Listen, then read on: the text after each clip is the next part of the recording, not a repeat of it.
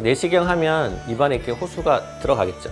들어가서 우리의 위를 보는 건데 이게 들어갈 때 술자의 부주의나 여러 가지 원인에 의해서 치아가 자극을 받는 경우가 생겨요. 이를 탁 치거나 그러면 장치가 붙어 있으면 장치가 떨어질 수도 있지만 그런 경우는 적고요. 다만 호수를 넣는 분이 봤더니 뭔가 잔뜩 붙어 있어 안에. 까맣게 막 붙어 있어. 그러면 당황하시니까 마치 수면 마취 하기 전에 아, 저 장치가 입안에 있습니다 정도는 미리 고지를 해주시는 게 원활한 그 내시경 치료가 되지 않을까 싶네요.